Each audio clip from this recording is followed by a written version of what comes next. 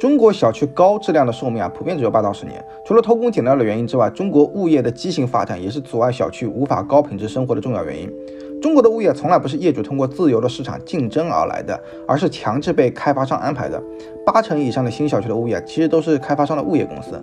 虽然说一个新小区的物业是要通过招标才能进入的，但是在房地产价格快速上涨的畸形市场里，物业的招标形同虚设，或者说你买房子都要被开发商挑，更何况是物业了。所以经常有人说，好不容易买了套房子，还多了一个不管你愿意不愿意，将来你都要不离不弃供养的一个妈。那这个妈还经常跟你唱对头戏，那烦的不行，还不得不听。所以很多小区的快速衰败啊，是从物业开始的。就跟机器没有良好的保养，就很快会生锈死机。那小区没有好的物业保养，交房的那一天就是你小区的巅峰时刻，往后呢，永远在走下坡路。去看一个小区的物业好不好，前五年呢，只要去看小区的绿化就知道了。因为好看的绿化养护的人工成本是非常高的。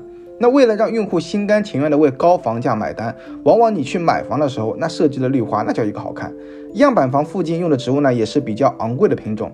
大家在交房的时候啊，也能看到这个昂贵且错落有致的绿化的最后一页。但是为了让绿化一直保持错落有致的造型，就需要工人一直去修剪草地、灌木，该除草除草，该做造型做造型。那大型的乔木呢，还要定期去修枝。如果一直保持交房时的绿化标准，物业每个月凭空要多出百分之二十的人工成本。所以呢，往往在小区交房的一到两年内啊，那些错落有致的绿化，慢慢就变成了像麦冬、鸭掌木这种日常不怎么需要养护的植物。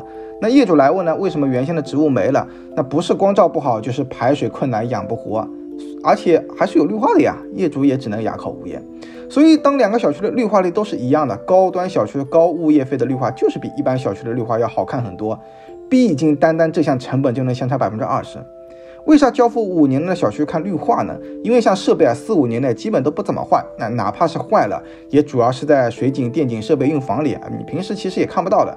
就算是电梯坏了，刚交付的小区入住率低啊，只要不影响你的正常通行，其实你也不在乎的，下意识就去忽略了。另外呢，像保安从三十岁换到四十岁，再换成五十岁；巡逻呢，从两小时一次变成半天一次；保洁呢，从半天一次变成一天一次。另外还打着垃圾分类环保的旗号呢，把你楼层的垃圾桶呢都撤掉，甚至说我们要响应政府的号召，几栋楼才设置一个垃圾回收点，还要限时开放。那这样保洁的人工啊，又可以减少几个。当然，看小区好不好，其实还有一个重要的看点啊，就是广告。你看，你电梯内外、入户大堂、车库门闸，到处都是广告。另外，还有一些像什么自动售货机、公共新能源充电桩，只要在公共区域能赚钱的事情啊，物业那都是来者不拒。毕竟，一般一个小区的公共收益的百分之五十都算作物业公司的管理费用，那另外的百分之五十啊，你也不用多想，跟业主也没有什么多大的关系。当你看到三八妇女节送花、端午节送艾草、中秋节包月饼小活动，恭喜你，另外的百分之五十的公共收益就被花完了。顺便呢，物业还可以花点钱找点媒体报道一下我们的物业心系业主。至于交付五年后的小区啊，那就是业主和物业双方的精彩博弈啊。你能看到三十六期中的任何一计。交付五年后的小区，你会发现物业不是说电梯要大修，就是消防设备要全换，目的呢只有一个，让业主同意动用物业维修基金。大家都明白物业为什么要开始动用物业维修基金啊？那这个时候，基本业主也想成立业委会来监督物业，但物业肯定不希望有个人管着自己用钱。于是呢，物业往往开始会打电话，开始回访满意度啊，目的就是为了找刺头。找到刺头呢，就开始逐个攻破。那威逼利诱之下，总能拿下刺头。至于怎么威逼利诱，大家可以看评论区啊，毕竟都是大家经历过的事情。基本小区开始快速衰落，也就是在成立业委会的这一个节点。因为赞成成立业委会的业主会以业委会还没成立，暂时不交物业费，反正拖欠物业费，物业也不能拿业主怎么样。那物业收不到钱呢，就会更加千方百计拉广告来赚钱。后面呢，就是物业的收缴率越来越低，物业的服务呢越来越烂，直到换个物业，重复以上的流程。但怎么说呢？其实业主也不想着从公共收益上去赚钱啊，也想着物业要是能服务好我，我也就按时交物业费。但是呢，物业作为一个服务机构，天然上就不可能同时服务几千个在同一场景里有不同需求的业主。举个例子啊，外卖员能不能骑电动车进小区？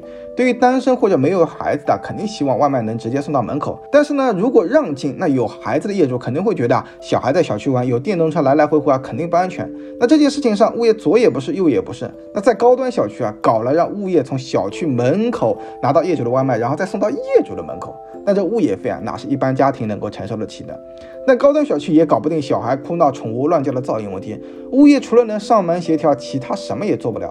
噪音业主呢，双手一摊，你来，有本事你让他不哭。那投诉业主呢，我不管，我每年交物业费，不就是让你解决问题的吗？那这点问题你都解决不了，那最后物业也只能变为一个出气筒。其实呢，还有像保安的小区出入管理啊、装修管理啊、地下车库管理啊、搬运管理，小区上千人，总有人满意或者不满意，毕竟众口难调嘛。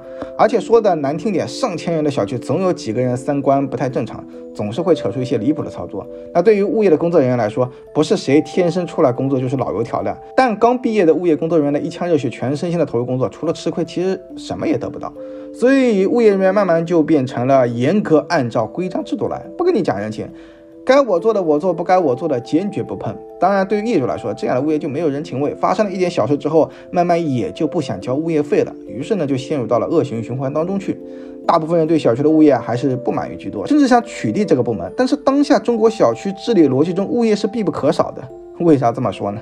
物业的业内人士啊，流传了这么一句话：上辈子做了孽，这辈子才做物业。物业呢是背锅大侠，水务公司的、电力电网的、地产开发商的、市政建设的、城管的、消防的、邻居的、燃气的、供暖的，通通找物业公司。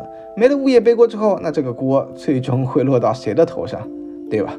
那中国的小区动不动就是上千人，甚至是几十万人。一些小县城的总人口还没人家一个小区人多。正常来说，一个庞大的居住群落啊，需要的是一个强有力的管理机构。